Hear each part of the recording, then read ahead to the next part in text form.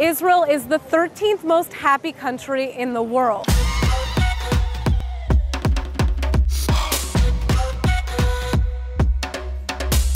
Welcome to Tel Aviv. Wait, but aren't we in constant danger? Well, that's the thing. You probably wouldn't expect little old war-torn Israel to make it into the top 15 happy countries. I mean, things don't look so good on the news. But here on the ground, the statistics paint a totally different picture. So what makes us so happy?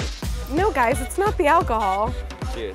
According to the United Nations World Happiness Report, there are six main factors that make us smile. Healthy life expectancy. Freedom to make life choices. Trust in the government. Generosity. Income. Social support. Wait, why is no food included? Well, actually, there is. I'm about to break down why Israelis are apparently so positive about their lives.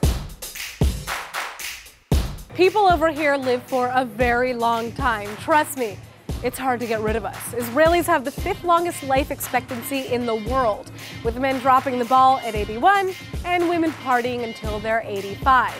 And a lot of it has to do with health. Israel is the 10th most healthy country in the world, and we have the lowest rate of diet-related deaths across the planet. If you were in trouble, do you have relatives or friends that you could count on to help you out? Well, according to the UN Happiness Report, in Israel, the average answer is a big old yes. The Israeli Family Institution remains very resilient, and apparently, there's an overall feeling of solidarity with society in general. Maybe that's why so many people donate to local charities and offer generous help. תגידי, מה, את סתומה? לא, כפרה עלייך, אין לך מוח בכלל, לא חבל על הרחם שלך, תביאי לעזור לך.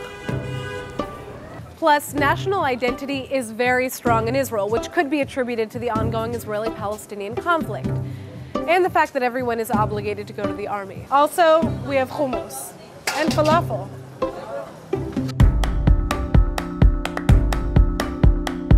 To all the Israelis out there, this one confused me too. Yes, housing prices are high and salaries are questionable, but Israel does have a stable economy and a big chunk of the public is benefiting from it. Israelis have a strong public healthcare system, reasonable university tuitions, and no matter how much they're making, they know how to spend it.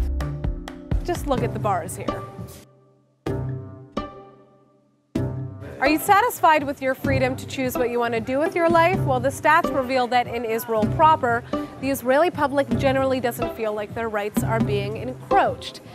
This is a tricky one because with an obligatory military service and a very fine line between religion and state, there are a lot of mixed feelings. But hey, this is the Middle East.